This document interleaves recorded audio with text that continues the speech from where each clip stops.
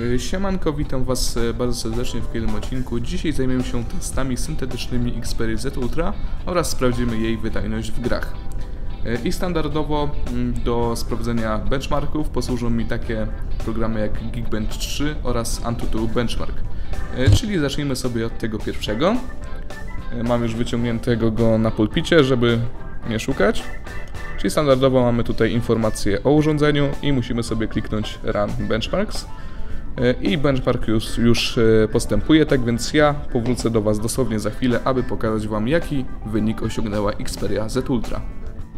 Ok, jak możecie zobaczyć Xperia e, właśnie przed chwilą skończyła benchmark i teraz zobaczymy jakie wyniki osiągnęła. Czyli mm, na jeden rdzeń przypadło 897 punktów, a na wszystkie rdzenie mamy 2747 punktów. Szczerze powiedziawszy, nie pamiętam jak to się e, plasowało e, w poprzednich smartfonach, jakie testowałem, e, ale myślę, że jest, było to bardzo podobnie i sam smartfon jest oczywiście bardzo wydajny. Kolejnym benchmarkiem, jak, jaki przetestujemy na Xperia Z1 będzie Antutu Benchmark. I, te, I ten benchmark jest już troszeczkę dłuższy.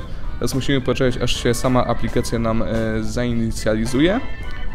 Ok, i po prostu klikamy sobie mm, test. E, I ponownie, jak w przypadku e, Geekbencha, powrócę do Was po krótkiej chwili, aby pokazać Wam, jakie wyniki osiągnęła Xperia Z Ultra. I teraz Wam pokażę, jaki wynik Xperia Z Ultra uzyskała w benchmarku Antutu e, Benchmark. E, Czyli zobaczmy. Mm, I mamy tutaj e, wynik e, 33 538 punktów, czyli e, można powiedzieć, że sam smartfon jest e, w czołówce zestawienia w tej aplikacji, co oznacza, że jest naprawdę bardzo, e, bardzo e, wydajny. E, I kolejną rzeczą, jaką Wam pokażę, będzie krótki gameplay z gry Asphalt 8, aby pokazać Wam, jak się sprawdza ten telefon w graniu. Ok, grę już uruchomiłem i pozostaje nam tylko wcisnąć Start Race. I właśnie nam się wyścig ładuje. Musimy chwilkę poczekać, ale myślę, że to powinno być bardzo, bardzo szybko. No, tak jak myślałem. E, Więc e, czekamy jeszcze chwilkę. Muszę powiedzieć Wam, że naprawdę do grania idealnie ten telefon się e, sprawdza. No składa się na to przede wszystkim świetny hardware, czyli procesor Snapdragon 800 o, ta- o taktowaniu 2,2 GHz, e, 2 GB pamięci RAM. No i kolejną rzeczą, która poprawia komfort grania jest ekran, bo, bo naprawdę na tak ogromnym ekranie gra się wręcz idealnie.